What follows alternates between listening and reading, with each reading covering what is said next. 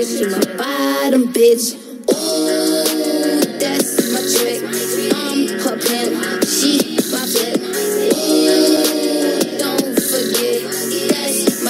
my bitch. He rings me up on the phone. He says, I'm in New York. I'm here for 48 hours. I was granted parole and I'm ready to talk. So, welcome to the free world. How long were you down? 62 days. That 62 days seem longer than the five years. How is jail for you? Like, like who was your roommate? I didn't have a roommate. I had a cellie. Do you promise him a job at death row when he comes out? No, you don't make At the promises. You don't make promises. You know, prison is one thing. Yeah. In prison, you live for that moment. You live for day to day.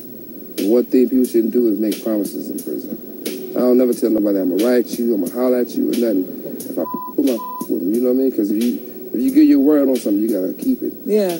You know, a lot of times, you know, prison is prison. Don't get me wrong. I got a lot of my homies there. And I, you know, I miss my homies that they couldn't go home, but at the same time, we still holler. But I had to get where I gotta go. Yeah. Yeah.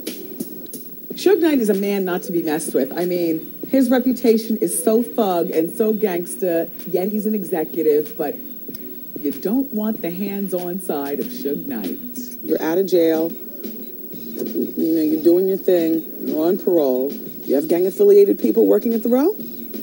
I wouldn't say they it's gang affiliated people. It's, it's people from the ghetto because Death Row is a, is a company that was I gave opportunities and still give opportunities Right. to people who who normally wouldn't get opportunities. And I still got to do that because that's my part. The interesting thing about Suge is, is that there's always that little thing with he and Snoop Dogg. I mean, Snoop Dogg was on death row.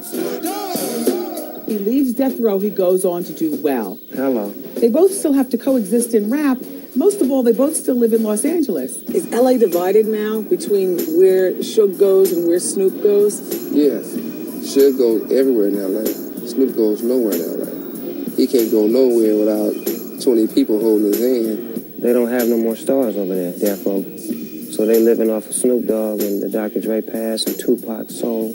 You know, they just living off all old material. It's nothing over there brand new that's moving.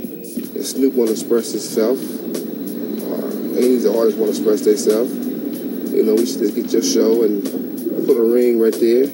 You'd fight here on the show? I'll fight right on the show. If we can sign some papers where they don't violate my parole, oh yeah, I handle my business on the show. When's the last time you cried? Ooh, that's, you know, I haven't. Not to say I'm too much of a man to cry. I think that uh, once you when you grew up in the ghetto, you all cry out by the time you make a, one time you consider yourself a man, it's, it's gone. You know what I mean? You care, you show passion. At the same time, as men, we have responsibilities.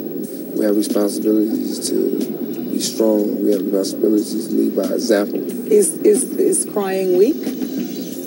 Uh, I think so. I think that uh, I don't think a woman respect a man who comes home and say, "I had a hard day," and start crying. She probably want to slap him. How does it feel to be um, so feared? I don't look at it as fear. I look at it as respect. You know, I look at it in a way where I'm gonna respect you. You're gonna respect me. If you can't respect me, I'm gonna teach you how to respect me.